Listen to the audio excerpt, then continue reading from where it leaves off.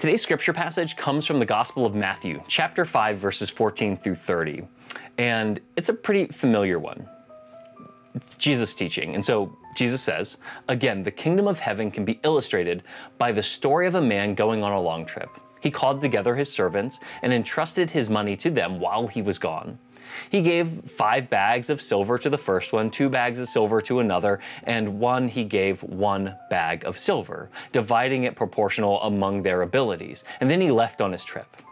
Now, the servant who received five bags of silver began to invest the money and earned five more. The servant who had two bags of silver also worked hard and earned two more. But the servant who received one bag of silver dug a hole in the ground and hid the master's money. Now, after a long time, the master returned from his trip, and he called them to give an account of how they had used the money. The servant who had, whom he had entrusted five bags of silver came forward with five more and said, Master, you gave me five bags of silver to invest, and I've earned you five more. The master was full of praise. Well done, good and faithful servant. You have been faithful in handling this small amount, so now I will give you many more responsibilities. Let's celebrate together. The servant who had received two bags of silver came forward and said, Master, you gave me two bags of silver, and I have earned two more. The master said, Well done, my good and faithful servant. You have been faithful in handling a small amount. Now I will give you many more responsibilities. Let's celebrate together. See the pattern? Then the servant with the one bag of silver came and said, Master, I knew you were a harsh man, harvesting crops where you didn't plant, gathering crops where you didn't cultivate, and I was afraid to lose your money, so I hid it in the earth. Look here, here is your money back. The master replied, You wicked and lazy servant. If you knew that I harvested crops where I didn't plant and I didn't uh, and, and cultivate, why do you then deposit my money? Why didn't you deposit my money back in the bank? At least it could have gotten interest there. And then he ordered to take the money from this servant and give him to the one, give it to the one who had 10 bags. Those of us who use well what we are given, even more will be given. They will have an abundance. But from those who do nothing, even what little they have will be taken away. Now throw this useless servant into the outer darkness where he will be where he will be in the place of weeping and gnashing of teeth. Well, this week we're finishing up this Money Talks series, and for the past two weeks we've been kind of diving into um, things about how we could use our money or what our money would say if it could talk. And so the first week we explored the idea that our money can add meaning to our lives, but it's not the meaning of life. And last weekend, we talked about how our self control with money determines who is in control of our finances and our lives. And so, this week, if our money could talk, it would say, when you lose track of your money, you lose track of your peace of mind.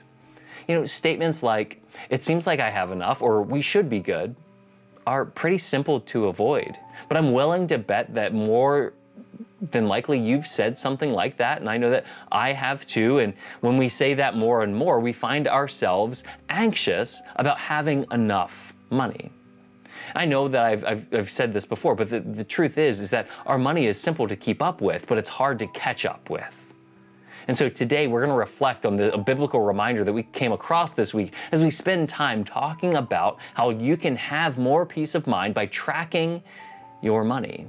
And finally, we're going to end with a little bit of a challenge. Now, Pastor Andy Stanley points out that uh, an often overlooked passage of the scripture, but it's it's important to kind of reiterate that there's a lot of talk about what the managers did with the money that was given to them, but there's no debate whose money they are working with. That's because the managers all know that it's the landowner's money. They don't think for a minute that it's been a gift and that they only have to pay back a little bit when the owner comes back or only give back the original amount of funds, right? They know that they're stewards of all of the funds, 100% of it that they have been entrusted with. They have to be faithful to. None of it's theirs. And so in this parable, the landowner is clearly God and we're the managers. God is willing to do the unexpected at times to risk to grow the kingdom and make sure that there is a place for everyone. Remember, that third servant isn't chastised because he didn't risk it and lost it. It's that he did nothing with it. And so, as stewards and managers of God's resources, we have been granted the authority to do the same thing. Not just bury the resources and talents that we've been entrusted with, we need to keep track of where it all goes so that we don't squander opportunity to make an impact for the kingdom, to do good.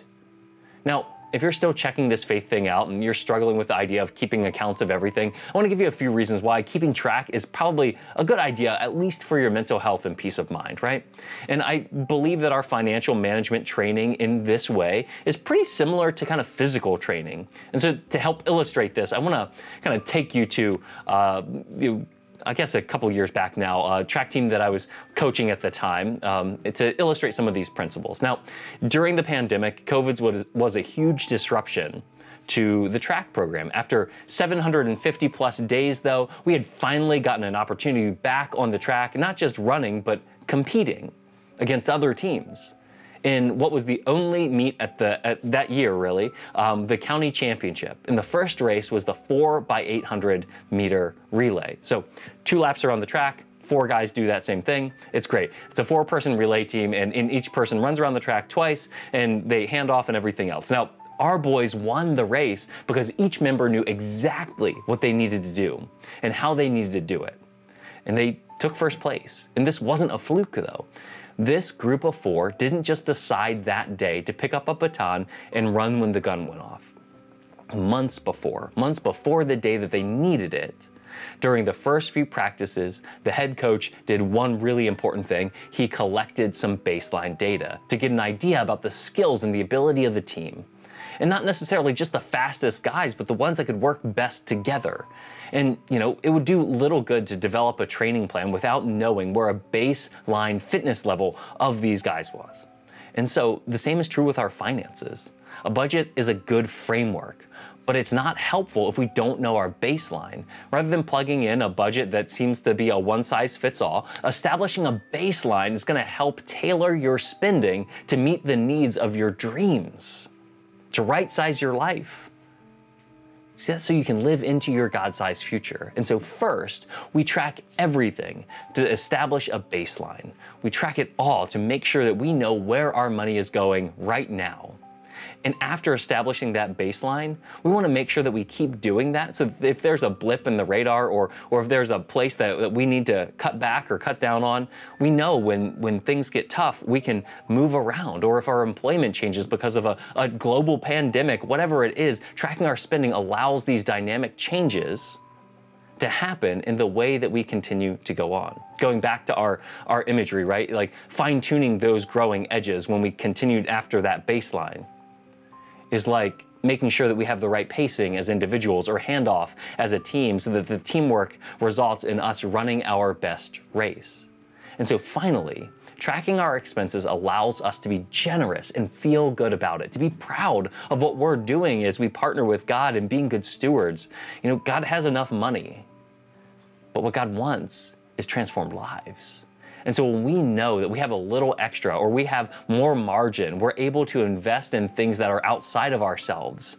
This might include church, but also other organizations that you believe in because they've touched your heart in some way. It could also be taking a friend to lunch and paying for it as they navigate a tough time or covering the cost of a uniform for a kid in the community.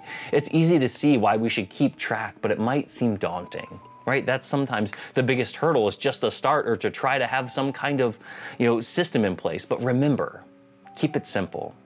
One way to do this is just keep a sheet of graph paper or even a note in your, your phone's app and just create a column for each area that you're spending and record each transaction in the corresponding area. Like if you get a new car or uh, you know a new expense area comes up, add a column. Or there's a great app called YNAB, You Need a Budget. And one of the perks of, of tracking this here is that there's times that, that you know, when we know we need to track everything, you're not going to purchase something because you just don't want to take the 10 seconds to log it. At least that is for me, right? I'm on Amazon, I want to hit the buy button, but I don't because I just don't want to account for it. And so this likely means that it wasn't a need in the first place. Even the practice of logging things can help save money. And so these are two simple ways to kind of help keep And hopefully it'll slow you down a bit so that you know where your money has gone.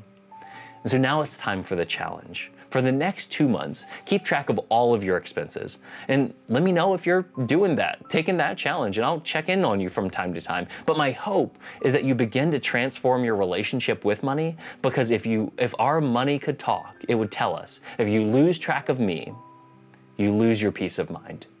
Amen.